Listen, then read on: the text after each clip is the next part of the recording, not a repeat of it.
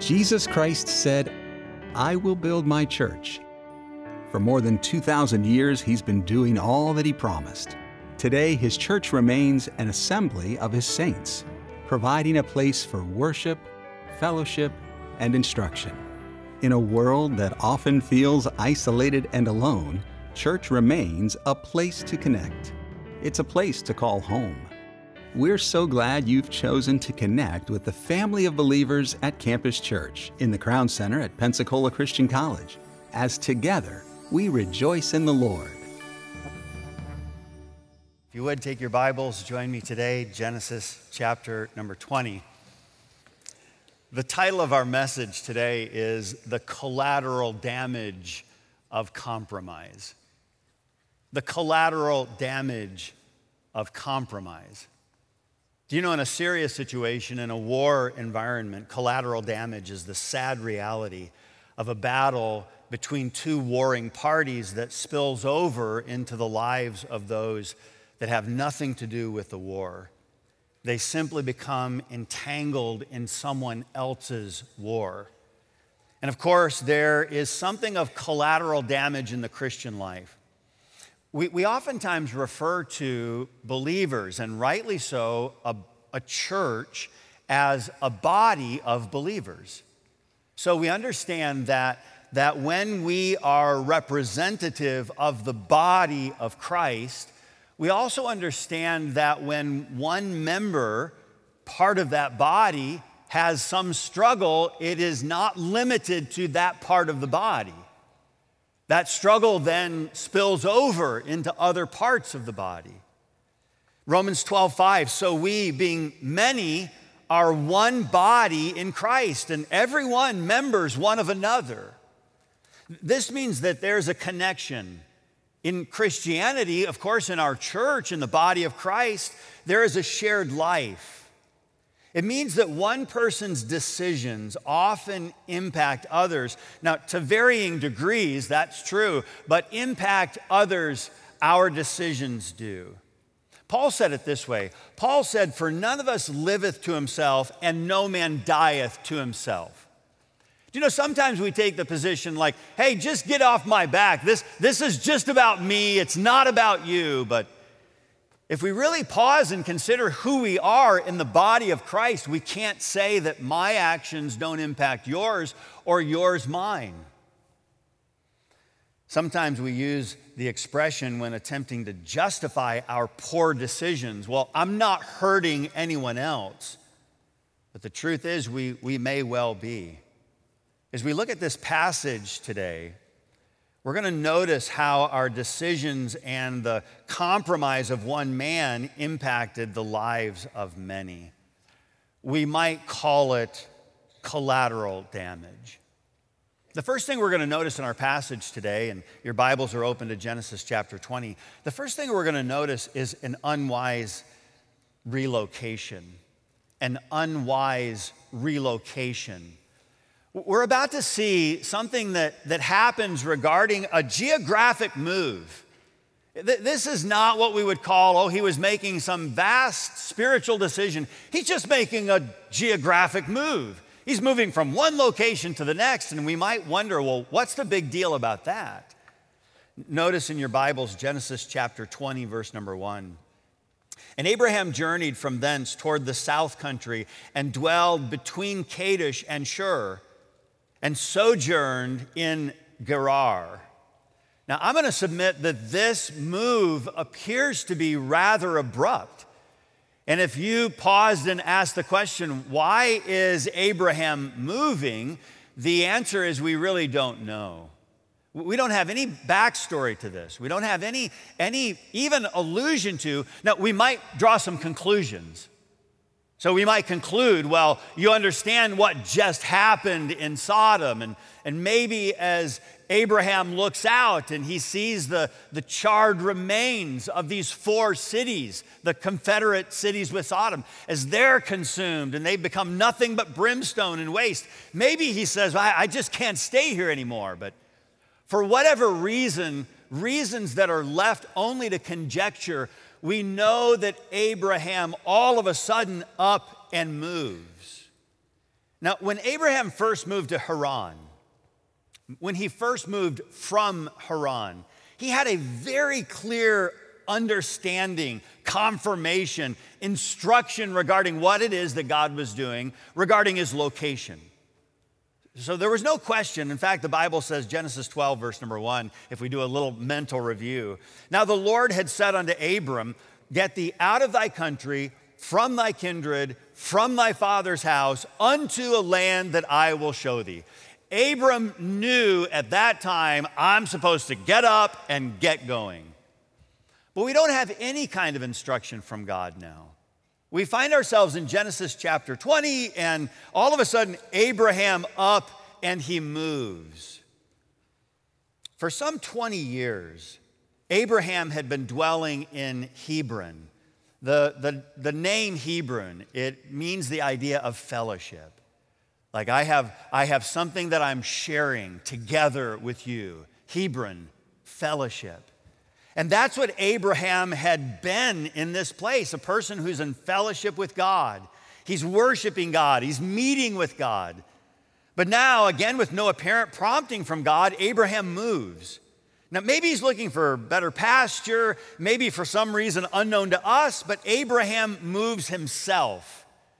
And by the way, when he moves himself, he's moving now the many people that are with Abraham. We know that sometime prior, he armed the people that were in his own house as soldiers to go rescue the, the people of Sodom when Lot was taken captive by others. 318 armed in his own house.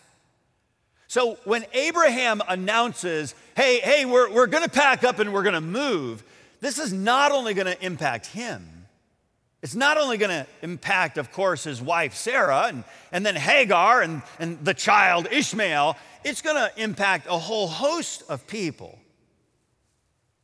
And then we're going to notice that he goes up to sojourn in a land, to sojourn in Gerar. The word sojourn, it means to turn aside from the road or to stay as a guest. It's kind of like you don't really belong there, you're just a passing through. And Abraham had now turned off the road. He's making his lodging as a guest in Gerar. And, and if you haven't already drawn this conclusion, or at least asked the question, well, well, where's Gerar? Gerar is a Philistine city. So now he leaves the land of promise, the land of Canaan, the land of fellowship, Hebron, and he goes to Gerar. He's going to a Philistine city and he's going to lodge there. Obviously, Lot made a poor choice in moving his family to Sodom, so we get that. And, and we oftentimes talk about the consequence of Lot's decision to pitch his tent towards the well watered plains, and then finally we find him seated in the gates of Sodom. And we give Lot his, his just, uh, you know, understanding that he did the wrong thing there. But I feel like at times we may be a little soft on Abraham because Abraham up and moves his family and he moves to Gerar, the Philistine city. If you and I were passing by Gerar, I mean, we're just, we're just passing through and we see someone we know and, oh, hey, hey, sweetheart, isn't that Abraham? And there's Sarah. Hey, Abraham. Now, here's the question we might ask What are you doing here? What are you doing here? Has anyone ever found you someplace, and, and not that it was necessarily morally wrong, they just didn't anticipate seeing you there? And so they see you, and all of a sudden it's like, hey, what are you doing here? Do you remember when God asked Elijah, his prophet, in 1 Kings chapter 19, the same question? Do you remember that? Because Elijah, he says, I've had it with this, and, and he gets this threatening, you know, life altering, uh, uh, you know, a statement from the queen. I'm going to take your life. You're going to be from Jezebel like one of the prophets that you just slew on Mount Carmel. You're going to be like them by this time tomorrow. So Elijah, he, he up and heads out. And God asks him on multiple occasions, what doest thou here, Elijah? What are you doing here? Uh, I'll tell you what I'm doing here. I've been very jealous for you. And, and God just lets Elijah talk, but eventually comes back and he asks the same question again What doest thou here, Elijah? God had clearly called Elijah to the land of Israel. He'd used him as a prophet to speak powerfully to his people, but God had not called him out of active duty, and he certainly hadn't called him to hide in the wilderness. You and I are called to stay at the place to which God has called us and not move until he has called us away to our next place of service. You know, when anyone ever comes and, and asks the question, um, hey, do you think I should make this move? Well, I can't answer that question, but we can ask the question Are you confident that God is directing you to this decision? Are you confident? I mean, how often do we look at some other situation with a grass is always greener mentality? Wow, that's so appealing to me. That's so attractive. And, and like Lot, the well watered plains, that is some green grass over there. Certainly better than, than what I'm exposed to and have to, have to live with here. Boy, that's such a better circumstance. And I wonder how often you and I are driven to make a move, so to speak, because of the grass is greener mentality. Again, I don't know all that was playing in the mind of Abraham, but I can't help but think he's processing it's got to be better there than it is here. Abraham, Gerar, the Philistine city, what are you doing here? You know, what are the implications of this? Well, it means that you don't pack up your family and move until God has clearly indicated it's time to do so. And clearly, God does do so. Just don't rush ahead of God. It means finish what God has called you to do. We would ask the question Did God call you to a place of service? That could be your vocation. Okay, so God's called you vocationally to this place of service. Don't go to the next place until you know God has called you to do so. Now, he does make that plain. He shows you this is exactly what I want you to do. But don't draw conclusions for God until God has given those conclusions. Your vocation. We might even take that another step further when we're asking this question about has God called you to a place of service? What about your volunteering? Your volunteering. You know, sometimes we, I get this, and please, I'm not trying to put undue guilt on any of us. Sometimes all of us need to step back for a moment and say, I, I do need a time of rest. It's time for me to come apart and rest a while. But unless God has just removed you from a place of service, even in our volunteering, we can kind of get in that mentality of, well, you know, there's somebody else that will do that. Uh, that, that's exactly what other people are for. And we've backed away at times just from our offering to the Lord. Lord, I used to do this. I served here. I was involved in that. And, and sometimes that little, I'm going to come apart and rest a while becomes like, wow, that's my new norm. Well, don't step away from things until God has clearly directed you to do so. And then when God directs, don't hesitate to take the next step. Well, remember when Abraham said it's time to pack up and move, the impact of that decision was going to impact far more than just himself. The collateral damage would be far reaching, and it began with a decision that, as far as we can tell, was done apart from God. Okay, an unwise relocation. Let's look a little bit further in the passage. And the second thing we see is an undeniable reality an undeniable reality. Okay, hey, everybody, don't you wish that at times the Bible would remain silent about certain things? I mean, honestly. I wish that at times, like, oh, do we have to look at that? Because it's not pleasant to look at. To me, it's one of the, the evidences of divine inspiration because God includes things about mankind that man would have never included in Scripture. And we're going to see an undeniable reality here as well. There's a place on the campus of Pensacola Christian College that I have oftentimes gone to to study. It is a quiet room and a quiet place, and, and I can just go in there and focus and study, and, and it's a good place for me to do so. I was seated at my computer and I'm studying. Uh, I'm in there one time, and do you know how sometimes a little noise doesn't fully register in your consciousness, but kind of the subconscious, you hear it happening? And there was some little noise that was taking place, and I just heard it almost in my subconscious, but it kept going. And, and it wasn't this, this pattern, it was erratic. It was this tapping noise, and I couldn't quite figure out what in the world am I hearing. And finally, it, it, it, inserted itself to the forefront of my thought. It interrupted my study, and so I'm, now I'm turning around to try to figure out what in the world am I hearing. Well, upon a little investigation, I found that there was this beautiful cardinal. Uh, beautiful red cardinal, and I look, and this cardinal keeps flying up against the window, beak first. Tap, tap, tap, tap, pap. I mean, the cardinal just keeps going against the window. And I'm like, what in the world? And so I, I look, you know, I, I, I get close to the window, and he just keeps flying against, repeatedly, this cardinal's flying against the window. Well, you know, finally I'm tired of this, so, you know, you kind of get in the window, and it's like, knock on the window, and the cardinal flies away. Okay, we're all done. Well, listen, I'm in there studying again, another time. I'm studying away, and it, here it comes again tap, tap, tap, tap, bah and, and I, oh, there he is again. This happens repeatedly. I mean, continually. I'm watching this cardinal. He keeps coming back. So now I'm kind of curious. I even had my phone out. I'm videoing this guy. I named him. I named him, I named him Carl, the crazy cardinal, okay?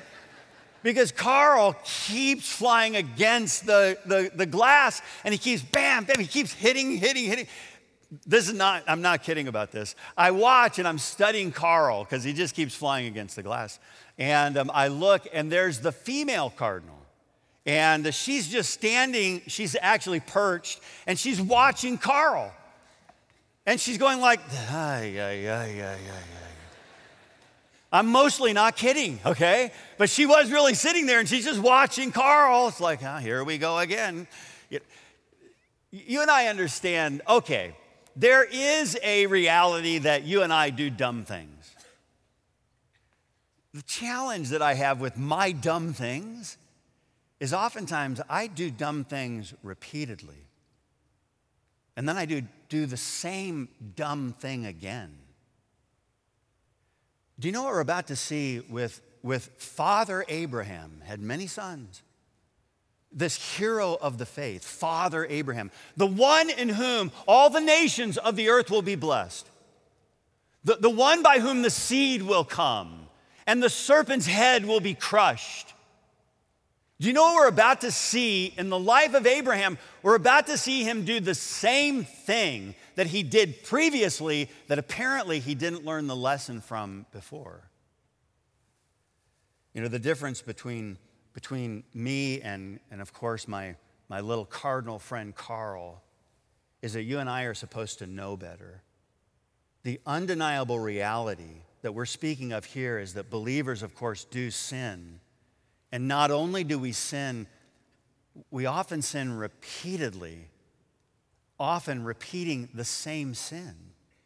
In Genesis chapter 20, verse number 2, the Bible says, And Abraham said of Sarah, his wife, here it is again, She is my sister. And Abimelech, king of Gerar, sent and took Sarah. So, what was Abraham doing in his lie to Abimelech? Simply this he was asking himself, What will this do for me? instead of, How am I protecting others? Lying, which I'm submitting, is exactly what Abraham did. Lying is primarily about how I can get out of something that I don't want or how I can get something that I do want. Ultimately, lying is manipulating the facts to get something I desire that I don't believe the truth will provide. So I'm gonna lie because I wanna get something, I wanna get out of something, I want something that if I tell the truth, the truth will not provide it.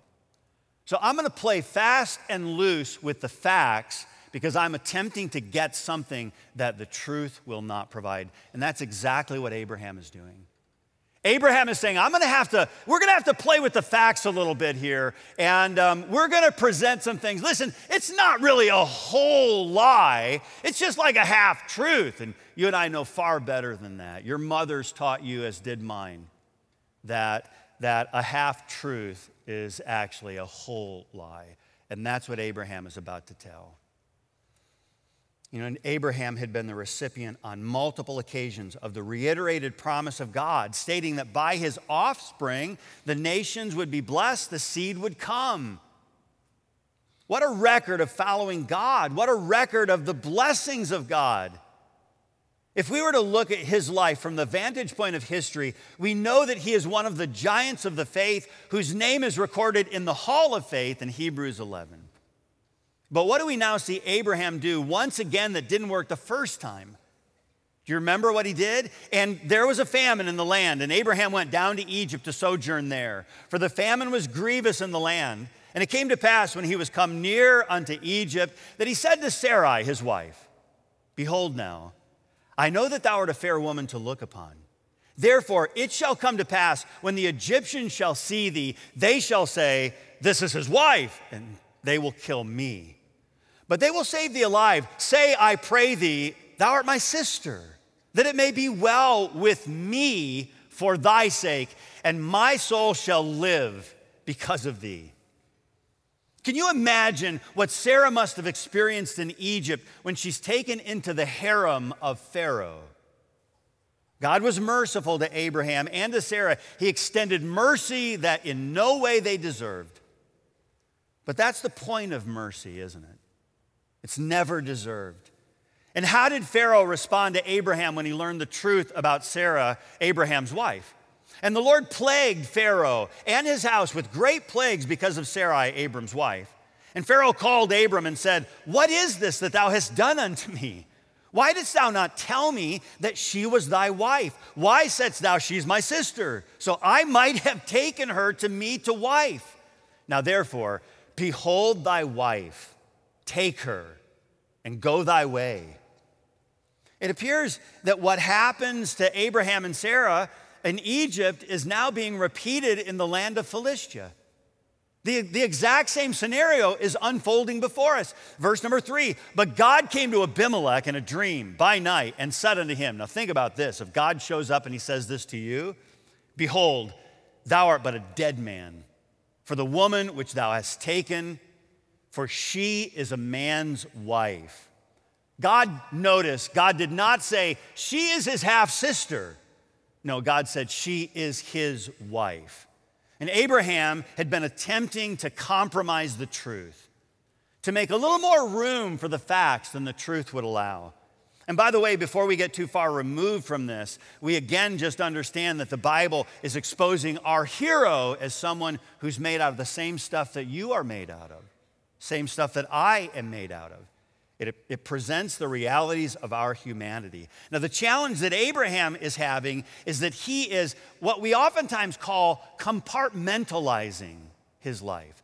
Now, don't miss this because we are so prone to compartmentalizing our lives. Okay, how many of you have um, how many of you have, let, us have a show of hands, how many of you have what we commonly refer to as a junk drawer at home? How many of you have one of those? Okay. How many of you, all of your drawers are junk drawer? Okay. a few of you. All right, so usually we have a drawer at home that defies organization. So, uh, you know, hey, hey, mom, where are the? And she says, uh, they're in the they're in the junk drawer. Okay, and so you go and you pull out, and it's just this assortment of everything, and they don't go anywhere else. We'll just put that in the junk drawer. Do you know sometimes in our Christianity, we like to conveniently have what we call our, our spiritual little junk drawer? That's not my church drawer. That's not my friend drawer. Uh, that's my, that's my uh, in fact, I don't really want other people to, to pull up in the junk drawer because it's a little embarrassing. But we have this little spiritual junk drawer. And we feel like if all the other drawers are properly organized, I mean, that things are labeled in there, they're looking nice, they're organized fully, it's okay for us to have our spiritual junk drawer. Because I can, I can, hey man, everybody's got a junk drawer. And, and why shouldn't I? And I'll just keep that one there. I'll put the things that are unsightly, things I don't want anybody to see, I'll just put that in my junk drawer. And then I'm gonna go serve the Lord in other areas and it's all gonna be good because those drawers are in really good shape. What is Abraham doing in some way, shape, or form right now? In some way, Abraham is saying, Listen, I, I know, I'm, I'm, I'm believing God. Did he believe God? Well, well, of course he does. What's he doing here? Here, he is not walking by faith, he is walking by sight. David prayed this prayer. He said, Teach me thy way, O Lord. I will walk in thy truth. Now, notice this unite my heart to fear thy name. Unite my heart to fear thy name he's saying, God, I don't want this little drawer in my heart and this little drawer in my heart. I don't want my heart to have this division where, okay, I can do this part here, but I can't do that part here. Unite my heart. God, give me a singular heart to fear thy name. And further, we realize again that we never, as a part of the body of Christ, we never sin alone. Whether one member suffer, all the members suffer with it. It's telling us listen, there is something of shared experience within the body of Christ. So, why does he lie? I'd offer just briefly three excuses for his lie. Three excuses. Number one, he didn't believe that God was everywhere. He doesn't believe that God is everywhere. Listen, we're going to get to Gerar, and, and I know this is a Philistine you know, city. Jehovah God doesn't live there. And Abraham said, Because I thought, surely the fear of God is not in this place, and they will slay me for my wife's sake. God doesn't live here. I, I, would love to, I'd love to, you know, talk about God, but God is not in Gerar. And so the fear of God, absent from here, I, I can't talk about him. I can't make trusting decisions for God here. This was years ago, and, and uh, Julie and I were on our adoption quest. We were in the heart of Russia where we adopted our son. And the next day in Russia, we had to stand before a judge, and the judge was going to inquire about us to see if they would approve the adoption. It was a big deal, and I was nervous the, the night before. I'm processing and like, what am I going to say tomorrow to the judge? What, what are they going to ask me? Am I going to tell them that I'm a Christian? And you know the passage that I read the morning that we were supposed to go see the judge was Genesis chapter 20. I'm in Genesis 20 and I read about Abraham saying, Surely the fear of God's not in this place. And I thought, Surely the fear of God is in this place. And the next day, we were the first ones to stand before the judge. So we didn't get to see anybody else, what the judge was going to do, how they'd respond. And the judge started to ask us questions like, Hey, um, oftentimes uh, children could have some significant challenges because of the challenges that, that could be physical, they could be drug related from their parents, there could be a whole slew of issues. What are you going to do if you face those challenges and it is far more difficult than you anticipated? So, well, what am I going to do? I said, well, um, I am a Christian, and I believe that God has directed this child to this couple and that He has intended for this child to be a part of our family. And the judge paused, and then it's like, what's the judge going to say? And then she, all of this is through an interpreter, and, and she said, I too am a Christian. Like, whoa, the fear of God is in this place, okay? And then she said, I also believe that God is the one who puts children specifically with specific families. And then she said, In fact, I have seen that so much that so often the children physically reflect the parents that have adopted them. And you know, we left that day with an understanding that the fear of God is not limited to a geographic location. The fear of God is that which we understand. God, you are everywhere present. What does he do? Well, he first of all, he didn't believe that God was everywhere. Number two, he thought a half truth was sufficient. He thought a half truth was sufficient. And yet, indeed, she is my sister. She is the daughter of my father, but not the daughter of my mother. And she became my wife. Abraham, you tried that before and it was unacceptable. You're using it again and it is just as unacceptable as it was before. And number three, he blamed God for his circumstances. Uh, it's okay for me to lie because God's the one who put me in this circumstance. And it came to pass, Genesis 20, 13, when God caused me to wander. This is Abraham speaking. And it came to pass when God caused me to wander from my father's house that I said unto her, This is thy kindness which thou shalt do unto me. At every place whither we shall come, say of me, He is my brother. When God caused me to wander.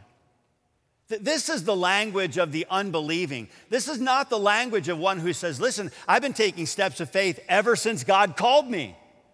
Well, God's the one who caused me to wander, and so because of that, I've had to take some very specific action. All of this is ultimately about Abraham. He simply wasn't trusting that God was enough. And by the way, there's an escalation of his sin as well. Abraham, since the time God first called him out of Haran, Abraham has received incredible revelation from God. And all of that, it seems to take a back seat. Look at the last thing. We see an unwise relocation, an undeniable rea- reality, and now we see God interject an undeserved response. God is unwaveringly faithful. There is no shadow of turning when it comes to our God. He is perfectly faithful.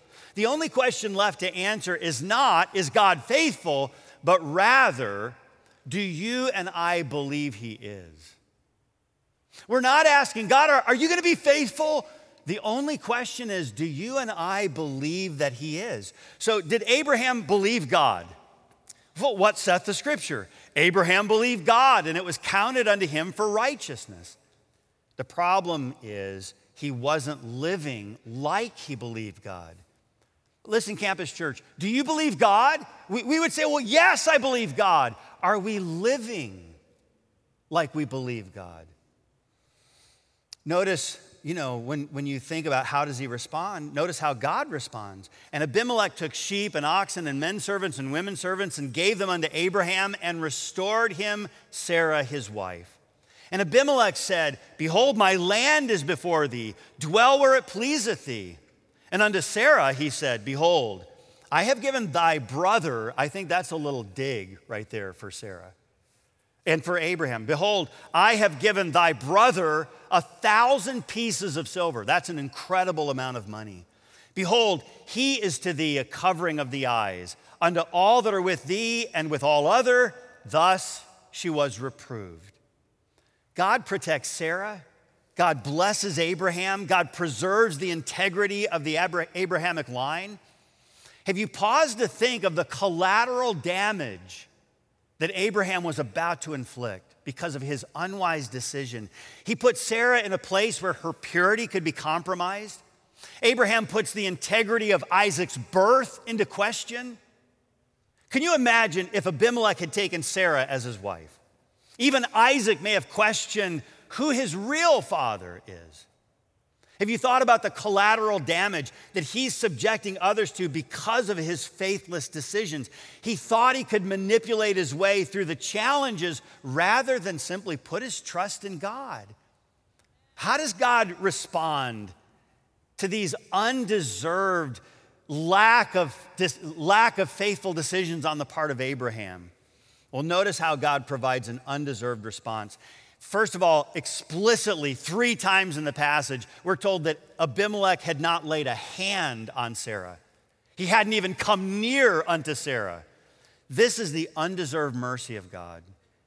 And, and, then let me ask you this How many times has God kept you back from some tragic sin?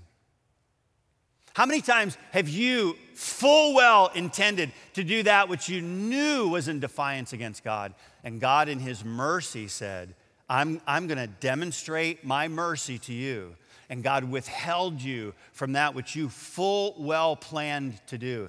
God was withholding the foolishness of Abraham's decisions. And then the next thing that we see is God tells Abimelech that he is a dead man if he doesn't return Sarah to her husband. You and I might reason Abraham lied, so let him deal with the consequences. Again, we see God's undeserved response. God is protecting his promise, he's securing his covenant, in spite of Abraham's actions, not because of them. And that's the way God works. God works in faithful fashion, not because we are so good, but because He is so good. The Bible says in 2 Timothy 2:13, if we believe not, yet he is faithful, he cannot deny himself. Aren't you grateful that God is faithful even when you and I are not? Now ultimately, do you know what God is doing here? He's not ignoring Abraham's sin. He's actually protecting his plan that will deal with Abraham's sin. God is overseeing and preserving the promised seed. How great is our God! You know, in conclusion, when you and I trust ourselves, rather than place our trust in God, we are placing not only ourselves, but those around us in tremendous danger. The question we must ask is who can do a better job of taking care of you? You or your God? The question obviously is an obvious answer. It seems like the straightforward understanding is God can do the job better than can we. So finally, who are you trusting? By God's grace and His mercy, may we place our trust in Him.